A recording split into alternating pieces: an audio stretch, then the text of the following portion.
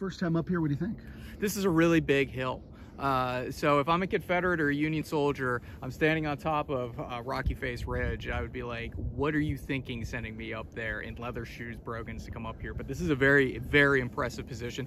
I've been to the foot of Rocky Face Ridge before. I've never come up here. It was an adventure to get up here. We were just describing it as a ride through Jurassic Park to get up to this point. I didn't see any stegosauruses or anything like that. But I mean, you can see all the way, we're in Georgia, we're in North Georgia. You can see into Tennessee and in the distance today because it's fairly clear. We can see all the way out to North Carolina. So this is an imposing position.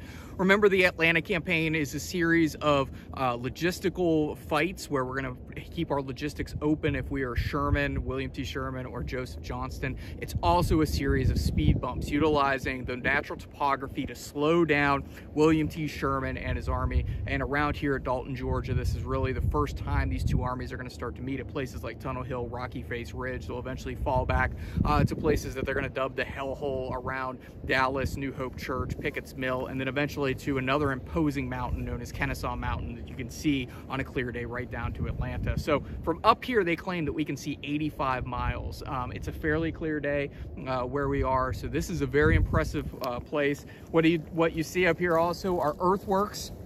Most people think of uh, low mounds of earth.